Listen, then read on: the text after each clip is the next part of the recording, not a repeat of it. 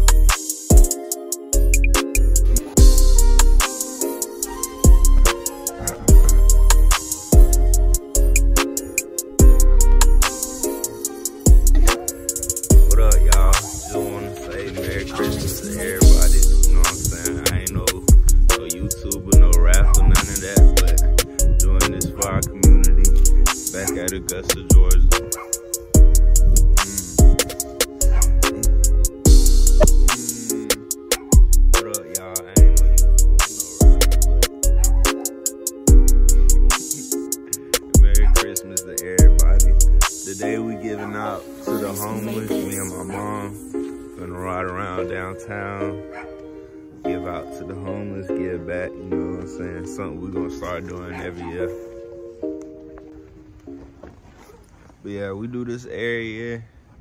Well, we don't. This is actually the first year I done did this, but it'll be more to come. You know what I'm saying? I'm gonna give back as soon as I run my bag up. I'm gonna give way more, much back to the community, homeless, cancer patients, all that. So y'all stay in tune, you know what I'm saying? But want to make sure everybody have a great Christmas, blessed Christmas. I know everybody might not get everything they want for Christmas, but just be thankful to still be alive because that's what I'm most thankful is. I done, you know, been through so much. I'm just thankful to still be here and still enjoy time with my family because at the end, that's all you got, you know what I'm saying?